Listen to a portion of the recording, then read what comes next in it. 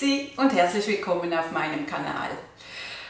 Heute gibt es einen Stilbruch. Wer schon länger dabei ist, der weiß, ich bin eher minimalistisch unterwegs. Aber ein Jahr ist vergangen, meine Mutter hat Geburtstag in den nächsten Tagen und sie ist ja eher so eine Glitzer-Queen. Und ich bin ja absolut der Naturhase. Also es wird eine Herausforderung für mich, ähm, da ich was mit Rosen und eventuell Amaryllis ähm, machen möchte. Ich mache so ein Gesteck. Und es gibt keine Weihnachtskugel rein, weil ich habe keine.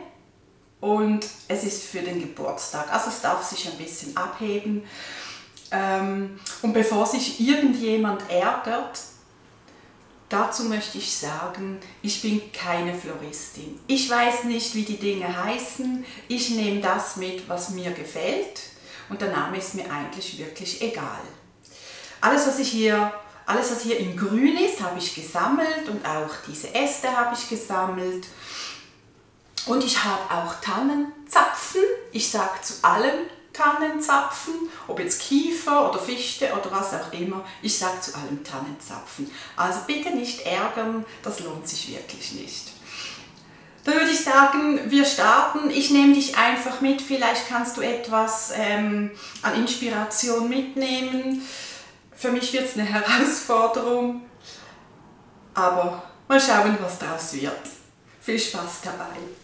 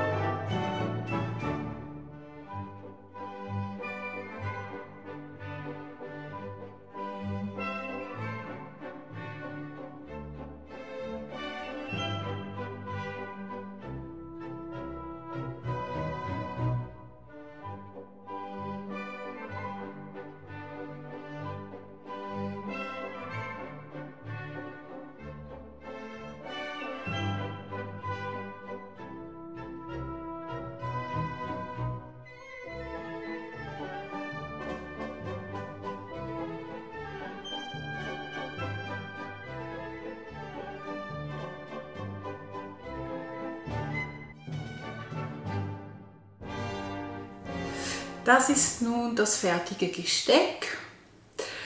Äh, ich hoffe, es gefällt meiner Mutter.